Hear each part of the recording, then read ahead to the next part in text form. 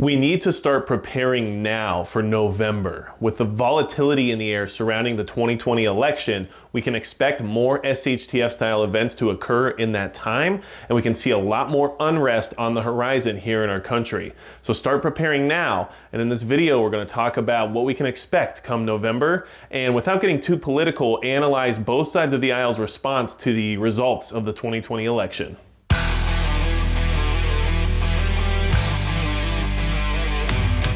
Hey everybody, it's Magic Prepper, and today we're going to talk about how November could be the start of SHTF, or at least have a lot more SHTF style events going on around it.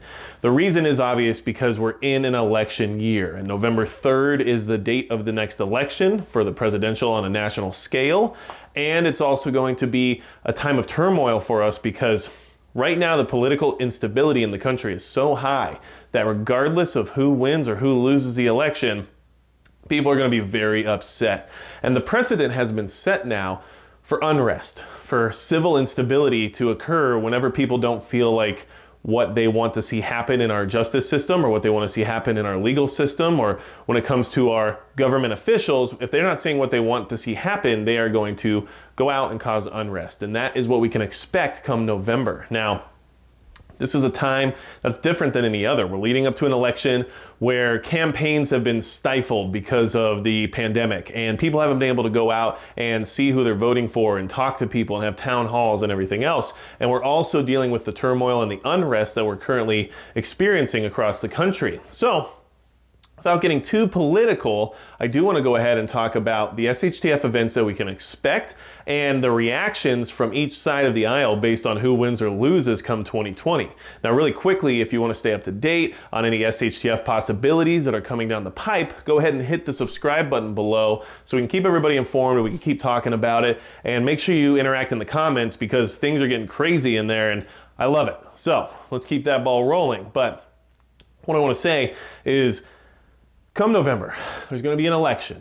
We're going to decide who will be the president for the next four years, and there will be a lot of other elections as well when it comes to senators and congressmen and everyone else. So, what does that mean? Well, right now we're experiencing unrest across the country. We can expect more of that around the election. In fact, we can expect it to be worse. And the reason behind that is because people's emotions are highly invested in the outcome of this election. And this year has been so tumultuous that people aren't willing to just sit back and accept whatever's given to them anymore. Both sides of the aisle have their own train of thought. And if you're on one or the other side, you understand that. If you're in the middle or you're moderate or maybe you're a libertarian or something like that, you try to take from both and make up your own mind. Either way, you're probably not going to be happy either because you're going to get one extreme or the other. Now, the unrest is going to occur because each side is going to have a feeling that's associated with whatever the results of the election are. So let's say you're on the left side, okay? You're on the left and the right wins the election, okay? So what this gonna do is prove to you a lot of the feelings and a lot of the emotions that you're currently experiencing, that the country is fueled by hate, that it is fueled by greed, and that your life doesn't matter as much as those who are in charge, or your situation's not as, as important as maybe a corporation situation, and all the hatred and greed that has fueled the country to this day is now being uh, put back into the White House for you to see as being a justification of the way that things have gone for this amount of time and a justification for unrest and more civil dis disobedience and more discourse. So, that's a very, very tightly wrapped, minuscule version of it, but that is a basic concept of why we can expect unrest if the right wins the election. Now, if the left wins the election, a lot of the thoughts on the right side of the aisle are going to put you in a situation of thinking that this was rigged. Okay, the powers that be have put things into place to make sure that your guy wasn't going to win again. The pre planned events that have occurred over 2020 have now culminated into this bundle of rigging everything to be against you and not in your favor. Okay? And it's part of the pre planned destruction of America and everything that's been going on for the last few months. And you're not going to be satisfied with those results because you're going to say, look, you know, we already knew this was going to happen. We've been talking about it this whole time, and here we are, and it happened. So, either way, right wins, left wins, it doesn't matter. The other side is going to be justified in their feeling of discourse, their feeling of unrest, their feeling of having to stand up for what they believe in. And we, as prepared mindset style people, people who are preppers, people who want to get ready for events that are coming our way that we might not have a lot of control over, have to understand that really there's no win in this situation when it comes to unrest that may follow. Whether or not you're politically affiliated with one side or the other, if your side wins, the other side is going to be very upset and vice versa. But more so than we've probably ever seen before, at least in recent history, because things are at an all time high when it comes to instability, uncertainty, and even just civility. People are not willing to be civil to each other anymore when it comes to these types of thoughts, this thought process of your political affiliation being very important to you, almost like a dogma. And that's okay if that's how you feel and you're a very strong willed person that is so concerned about your political affiliation, that's totally fine.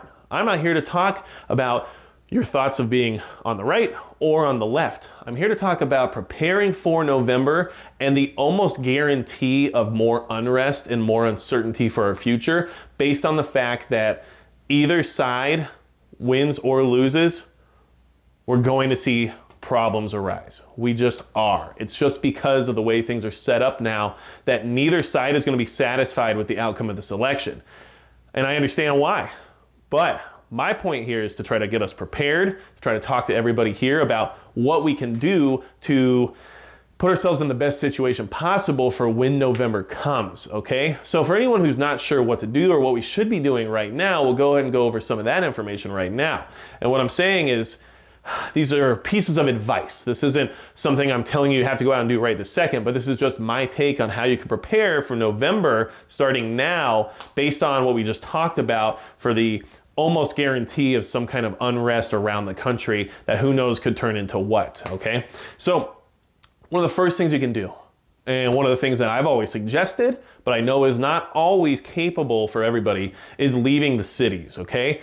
Yes, you should try your best to leave the cities, but not just because of November, but just in general. If SHTF occurs, regardless of why, being in the city is generally going to be the worst place to be. So if you can get out of the cities, do yourself a favor and do so. If you're not able to, I understand that. I know it's easy to say just pick your stuff up and leave, get a new place, get a new job, whatever. Okay, but people have different circumstances. They might have people they have to care for that are in the city. They might be attached to a job that puts them in a position that they won't otherwise be able to be in by being in the city.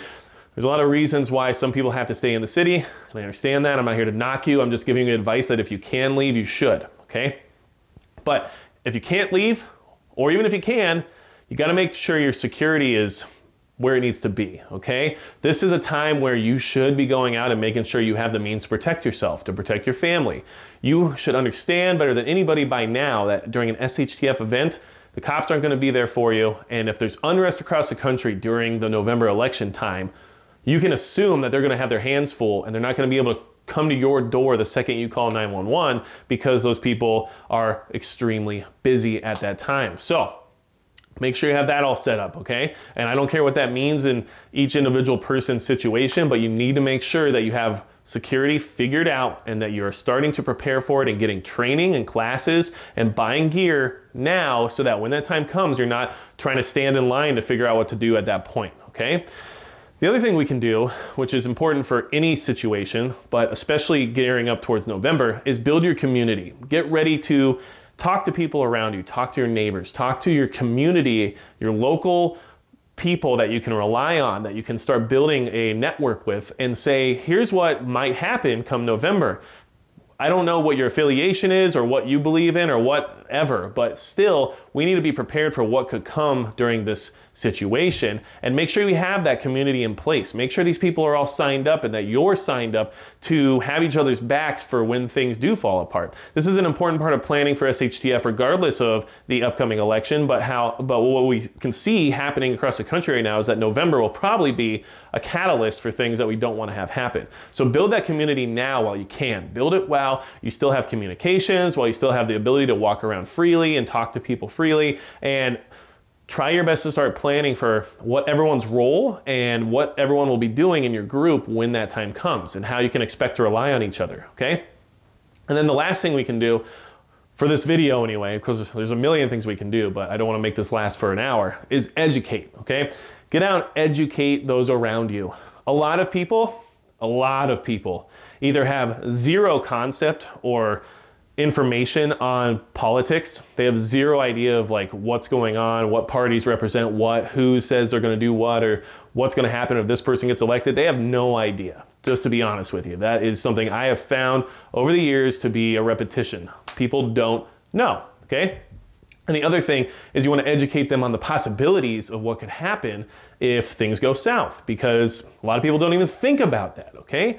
I have met so many people over the last few months who had no political affiliation or political information at all and had no idea what to do in case of an emergency. When this whole pandemic started, when everything started falling apart, people were coming to me and saying, well, what should I do? What, what, what things should I buy? Should I have food? Do I need to go get water? Should I have forms of security? I mean, it was incredible. And I'm glad those people asked those questions and I'm glad those people got the things they needed. And if you're one of those people, kudos to you for trying your best to, to learn and adapt and figure out ways to move forward. But these are things that we can be doing now before November comes when we don't often have this opportunity, okay? We don't often have a situation where we have a crystal ball and we can look at it and say, yeah, November 3rd, that looks like a pretty bad date in the realm of SHTF situations. And you know what? I think you can agree with me that things are probably going to be looking pretty bad around that time. So, that being said, let's use this time now to prepare for it, okay? Educate everyone around you. Try to get them to understand whatever your belief system might be or whatever you think your philosophy should be about surviving or being self-reliant okay make sure that we build the community and we network and we get people together to understand what each other's roles would be if things go south Get your security put away and figured out now. Get training. If you've never had a class or anything before, go take one. You need to. While you can, it's the best time to do it, okay? And leave the cities if you can. I know that's not possible for everybody, but getting out of the urban environment can make a huge difference in the amount of time you have to keep preparing and to put yourself ahead of that curve when things start going sour. So, this is what I wanted to do. I wanted to bring up the idea that November 3rd, the election of 2020 is a catalyst for SHTF. Whether or not it's going to be a long-term major event or if it's going to be isolated incidents, I don't know. But we need to prepare as if it's going to be a big deal because honestly, if there's any time I can pick through the rest of this year for something crazy to happen, it's going to be November 3rd. So make sure you prepare now. Leave comments below. Let's talk about it. Let's talk about what we should be doing to get ready for the inevitable. And that's going to be it for Magic Prep.